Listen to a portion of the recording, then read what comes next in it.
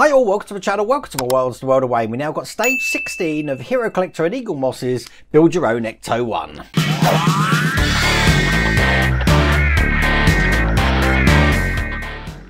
Now in stage 16 we're going to be finishing off the front suspension and we're going to be working on some of the steering mechanisms and believe me when you see what we've got in here, I mean look check this out there's a hell of a lot of bits and pieces and uh, I've looked through the instructions and I thought hmm, okay uh, I just want to talk you through the instructions though because there are a couple of things that people have advised me uh, which I need to tell you uh, why I'm going to be doing it different so here's all the bits. Now we've got the um, stabilizer bar here. We call this an anti-roll bar in the uh, in the UK here. No idea why, uh, but loads of parts for the steering here. And we've got seven different kinds of screws. Uh, we've got LM, we've got BP, we've got DMs, we've got IMs, we've got BMs, and uh, this is what made me nervous. Look, we got MMs. Those who know, know. MM screws, God, this is going to be fun, isn't it? Okay, so what we're going to be doing, let's just go to that page. We're going to be putting the stabilizer bar on, then we're going to start attaching the parts for the steering mechanisms. Once they're all in place on here, it wants us to put the wheel on and mount the engine to the chassis. Now, a lot of people are saying to me, Wayne, you don't want to do this yet because in stage 18, you're going to have to turn the car over again and put some parts in underneath. Uh, so it's just a lot easier if you leave the engine off.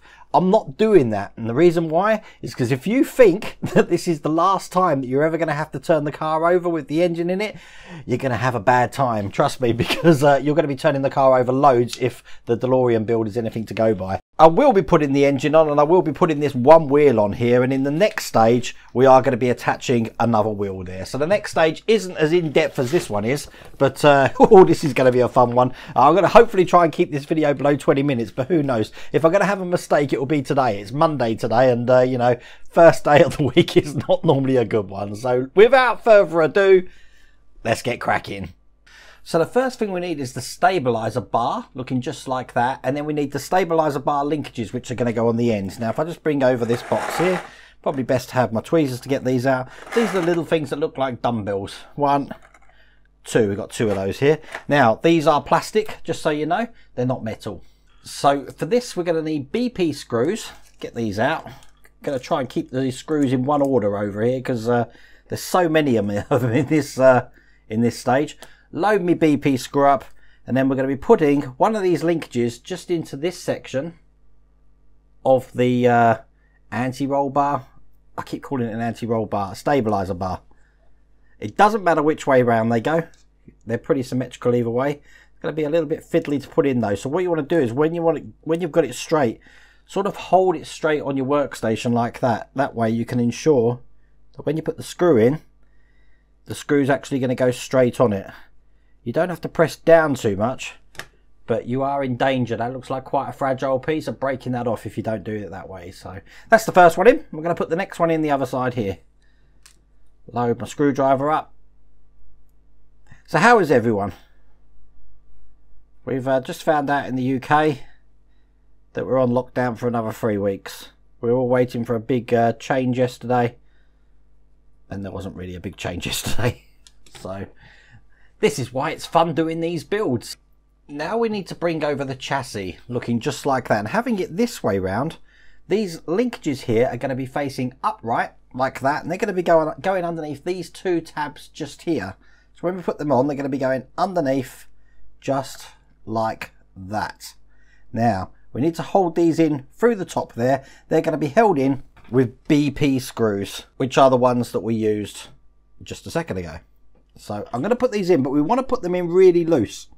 The reason for that is because we've got to put some hinges on to keep this attached here to the chassis there. So you see, I've only put it on lightly. I'll put the hinges on next, and then we'll tighten everything up. Now we do need to make sure when we do this that the wheels are centered straight.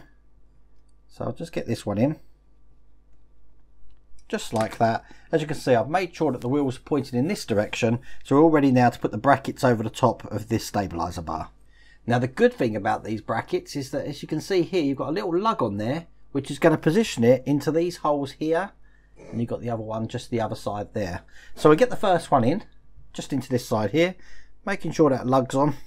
So that's the first one on there. That's going to be held in place with BM screws. So we are going into metal on this one. Once again, when I'm going into metal, I do prefer to put a bit of oil in there so it actually goes in nicely. So I've got a pin lined up here. I'm just going to drop some oil in these. Now someone did recommend, why don't you uh, just drop or do this. If I get a screw, load the screw up and then dip the screw in the oil. It's another good idea. It's just that if the screw falls off, I'm going to get an even bigger mess than I was before. So that's why I prefer to do it my way. Plus I think that doing it that way actually lifts up a bit too much oil. I've got a little bit too much oil on there now. So we'll take that off. But this is the first hinge going in. Just like that. That's all tight. We're going to do the same on the other side. So now the lug section on this one, where it was pointing towards the front, on this one it's actually pointing towards the back. So we, we just reverse the way around it goes so it sits in just like that. Let's load the screw up again and uh, I will try your uh, technique again. I'm just going to dip the uh, top of the screw in. No, I can tell you straight away, it picks up far too much oil. I really don't need that much oil on the build, so I will uh, do it my previous way. But, you know, I do try things so you... Uh, all your ideas you give me, I'm happy to have ideas. Just to see if we can make things easier. and here's the, uh, the last screw going in here now. Just like that, tighten that down. Make sure these are really tight. And now I'll go back and just tighten the top of these stabilizer bar connectors on each side. So that's nice and secure, nice and tight. I'm still able to move the wheels here. So that's brilliant. I'm going to put that to one side for a second because we're going to assemble the steering arms now. For that, we're going to need the idler arm bracket, which looks like that. This is metal. And we're also going to actually need the idler arm, which looks just like that. Holding this this way round, we're just going to put this idler arm underneath like that. We need to secure it from the top. As you can see, it actually just comes out. It's going to need a screw of a flange on. That screw is a KM screw. So I've got them here. There's two in the pack, which makes me think one of them is actually a spare. There's brilliant for uh, Hero Collector here to actually give you spares for this build. I did have a a pillbox made up, as you saw, a Ghostbusters pillbox. Um, looking just like that. And to be honest with you, I haven't really had to use it at all at the moment. So uh, uh, when I put that screw in, I've just noticed that this screw can't tighten up. It can go in, but it can't tighten up all the way. So uh, it's not falling out, but I think it's just in there to actually just keep that into place. Once again, we're bringing over the chassis, but I'm turning it upside down this time. And this piece here is just going to go onto this side. As you can see, there is subtle differences between the two sides here, but we want the one with the one lug, lug hole. This is just going to go over the top and sit just like that. We're going to secure this in from this side. It's going to be secured in with an LM screw. Once again, this is going into metal. So I will uh, touch a little bit of uh, oil on there. And when I say a little bit, I'm just talking about a pin tiny pinhead worth. I really don't need to swamp it, so that's in. And we'll get this tightened up. Make sure this is nice and tight because we're going to be turning it over in a minute. We're not going to get a chance to uh, tighten it up. There we go. Nice and tight. As you can see, that's not moving at all. Then we're going to turn it over. We need to attach that now to the steering rack. Now, you can see that I've done a problem here because this is actually going to sit on top just like that. Uh, but the holes for it are actually underneath at the moment. So what I'm going to have to do is switch this steering bar around. See, I make mistakes, so you don't have to. So this is an easy fix. I've just flipped it over the way it needs to go. Put this side back in. Nice and tight. Do the same with the other side over here. I didn't take the screws out all the way just so it's easier to line up. Put that in the hole and then now nice and tight. There we go. Now as you can see the holes are pointing up right there and obviously it still turns. Remember I make mistakes so you don't have to. What it means now is we can actually put the idler arm here over the top of the steering rack here and we're going to secure this into place with a DM screw. So I'll get that out. You know what? I'm glad I've made that mistake because if I've made it hundreds of you have probably made it. So, uh, but how many of you are going to admit to making it? I do it so that you don't have to. I keep saying that. There we go. So that's that side in just like that. Now we're going to be putting the steering pinion in. So we're going to be turning this upside down and we're going to be working on this side over here. And the first thing we need is the pinion base, which looks just like that. This is metal as well, just so you know. It's going to fit this way around. So it's going to be going down onto the chassis, just into this section here. And it actually fits like a glove. So you can see exactly how this goes in. Now it's going to be held in with two different kinds of screws. This end here towards this end of the chassis up here. It's going to be held in with a DM screw. So I'm going to put a DM screw in here now.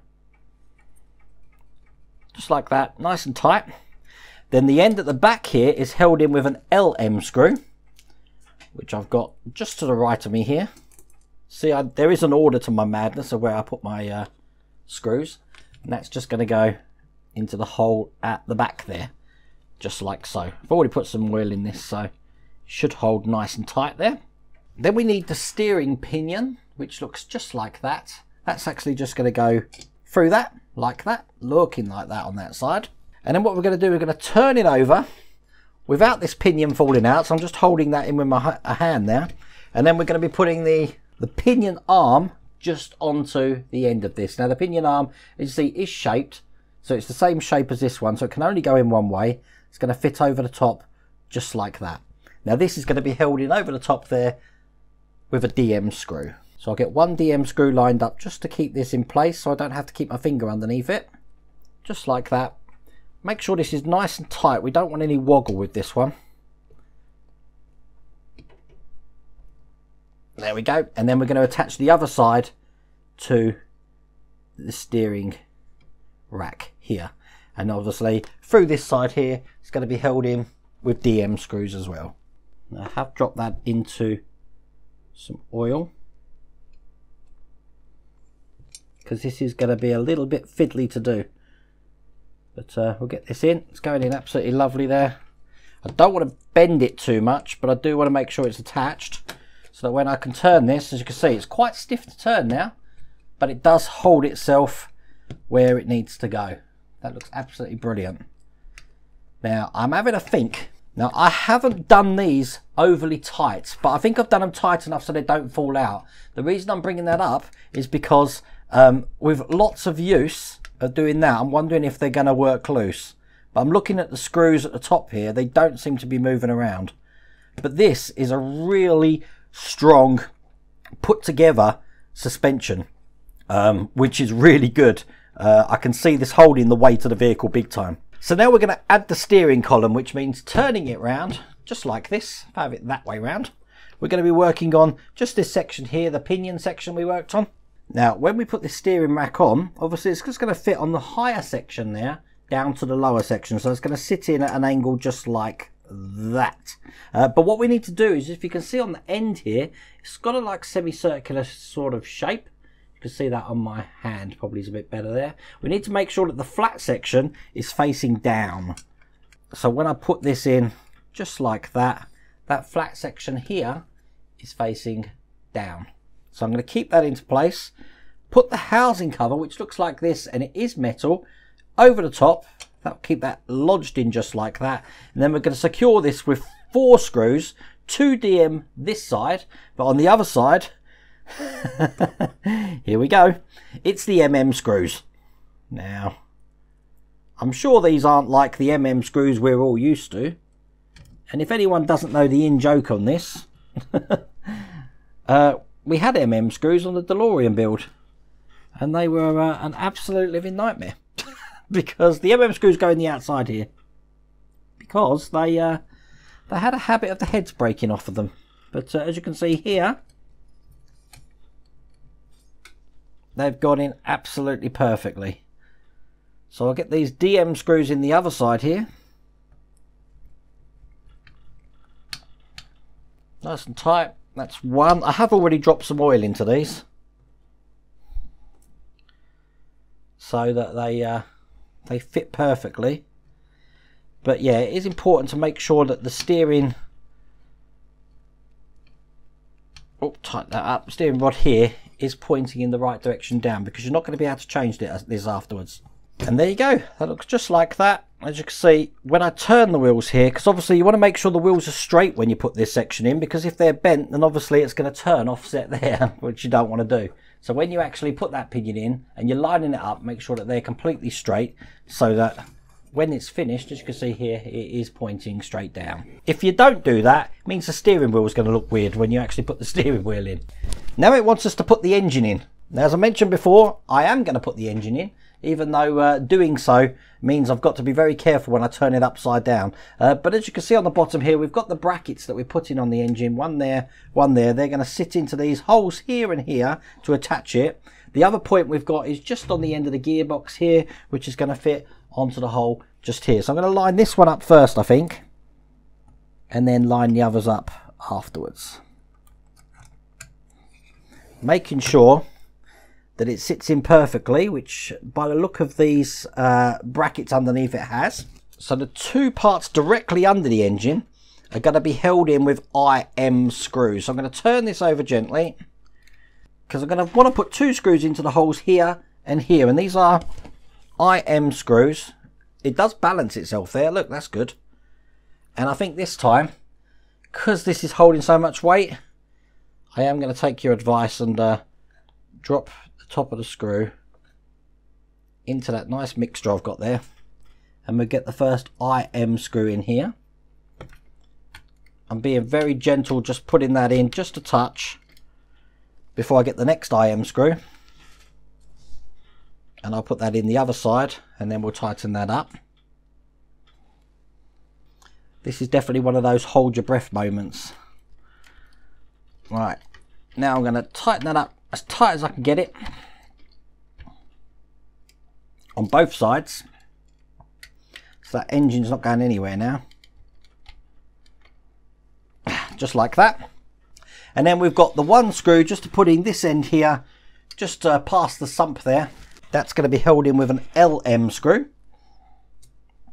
So I've got one of these here. Again, a little bit of oil. Put this in this way. Make sure that's nice and tight. We don't want this engine wobbling around at all.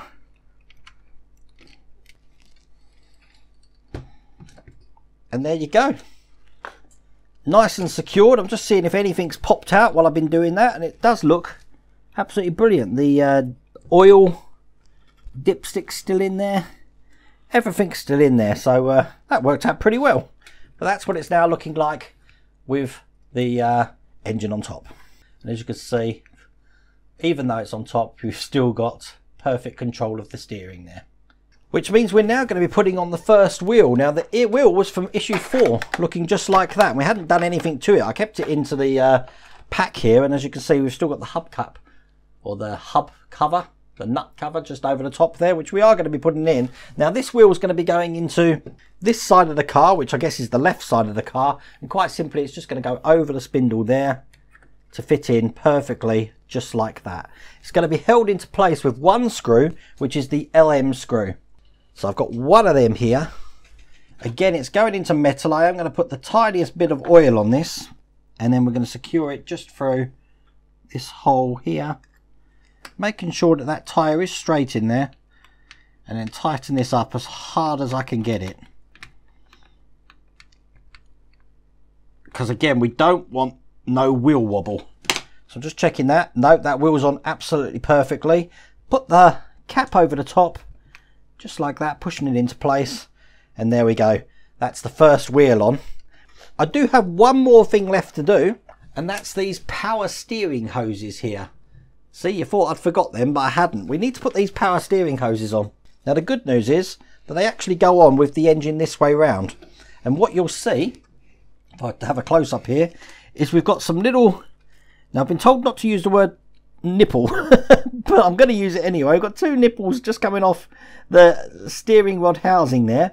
We're going to be putting both of these in each side of that, so I'll get them in now. Probably best to use my uh, tweezers for this. Push the first one in. That's the first hose in. Do the same with the second hose. And that's the second hose in. And then basically these are just going to go into the back of this section here, which is the uh, power steering pump, I'm guessing. So we're going to put these two hoses just into the two lugs, extrusions just to the back here. So I'll do that now. Probably best to do the back one first. I'm actually going to pass this underneath the, uh, the HT leads here, I think. It'll make it a little bit tidier. And boy, you are going to need a... Uh, you are going to need some tweezers for this. A little bit fiddly to get in, this one's going to be. That's the first hose in. That was a little bit difficult. Because it is hidden away down there. And here's the second hose. And if anyone is wondering, yes, I'm using my tweezers. And I am using my glasses here because that was fiddly. Uh, but that's now in. As you can see, those two hoses there just into the back of that section there. But that's all there is to do in this issue. I enjoyed that immensely. I love the challenging ones and as you can see it looks impactful. Any issue where it really comes together and makes the thing grow and look a lot better than it actually uh, seems when you're actually just doing the little parts and focusing. You can now focus back and just see how good that actually is. Let me just show you on the side camera as well. Look, I'm so happy with how that looks. And uh, I don't even think the video is doing it justice for how big this thing actually is. But uh, you can still get hold of this yourself. If you want to get hold of this, if you're in the UK or the US, there's two different, uh, I think it's going to be over this side, there's two different addresses. If you go over to those addresses, type in that in exactly like you see there, that will take you to the uh, Eaglemoss site. They'll know you've been sent as well from the World of Wayne website because obviously uh, these are tracked, these uh, little URLs here, which is excellent. Uh, and you can build this for yourself and I'm sure you'll agree it's absolutely amazing where we're up to at the moment. In issue 17, we are going to be doing the tyre, but that's probably not going to be till next week. I am making these last a little bit through the month. But if you did like that video, please remember to give me a thumbs up. If you haven't subscribed already, please remember to subscribe. Other than that, take care.